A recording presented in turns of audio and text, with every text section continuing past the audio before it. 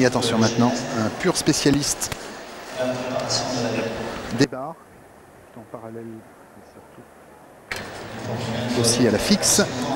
C'est beaucoup illustré le Slovène Mitya Petrovsek au bar parallèle. Le spécialiste. il fait pratiquement que ça. Hein. Oui. Il fait le tour du monde pour faire euh, ce mouvement extraordinaire. Un petit peu comme Marius Urzika euh, est un presque unique spécialiste en, aux arçons, bien que Urzika fasse aussi la fixe et les parallèles, on va le voir, puisqu'il s'est qualifié pour la finale. Petrovsek, lui, fait euh, parallèle fixe, mais bien plus souvent parallèle. Et là, il obtient des résultats tout à fait remarquables. Même si chez lui à Ljubljana, il s'est un petit peu euh, loupé puisqu'il avait obtenu seulement la cinquième place au dernier championnat d'Europe, ce qui était une énorme déception. On s'en souvient. En revanche, lors de la Coupe du Monde à Sao Paulo, il s'en est sorti avec les honneurs. En remportant cette épreuve-là.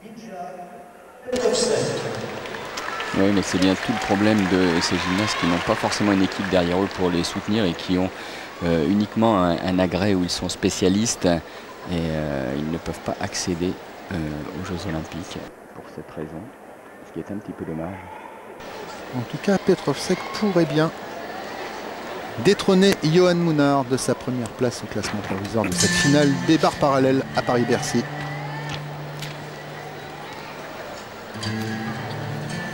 ça le tourne dessous avec demi-tour. Travail latéral. Parfait pour l'instant. Yamilov.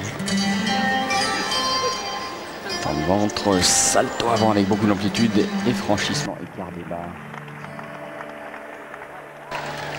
Et le public a raison d'applaudir. La sortie et, et un petit saut exactement comme Johan Mounard. Alors là, il est sûr de lui. Personnellement, je les mettrais à égalité quasiment. Ah bah c'est difficile de faire la différence, d'autant plus que les combinaisons n'ont rien à voir entre elles.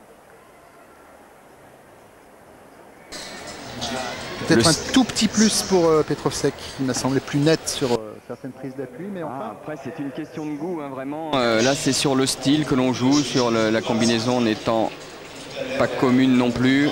Il y aura une petite part de subjectivité forcément sur moi, je, euh, le jugement. Moi je préférais celui de Johan, mais euh, sans chauvinisme aucun, hein, mais j'ai trouvé euh, plus harmonieux, plus en rythme que Petrovsek.